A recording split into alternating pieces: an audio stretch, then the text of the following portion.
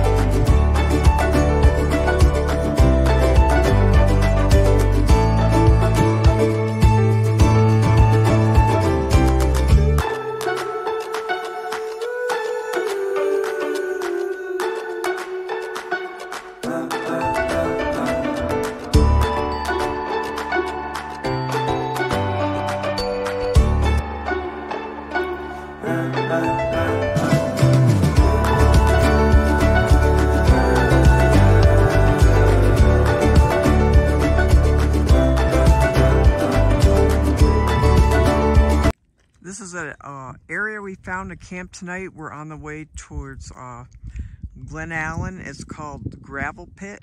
It's on the uh, Eureka Trail System. There's a gravel pit one and two, and uh, it's a huge area.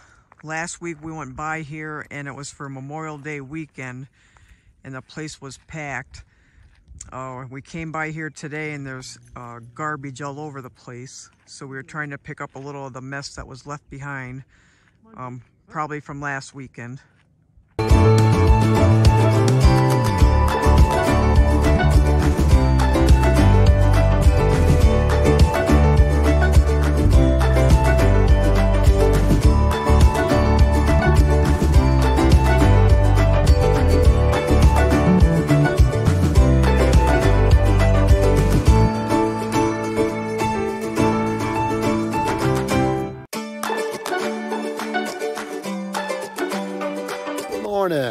Morning. Everyone. We're here at a gravel pullout that we uh, found last night. It's called the uh, Eureka Trail System Pit 1 and 2, and we're at pit number 2. Yeah, and it overlooks the glaciers. There's two different glaciers over there, and uh, just absolutely beautiful. Uh, there's we got a fire pit there, trucks there, and it goes way back there.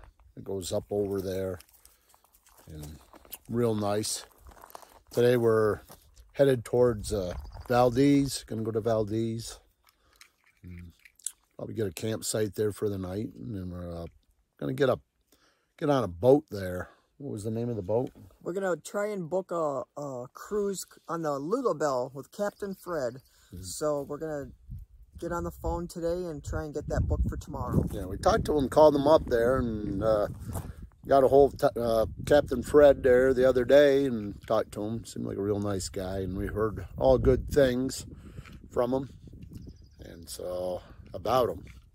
So uh, I'm gonna get things around here and uh, head down that way. So we'll let you know how we make out later. Yep.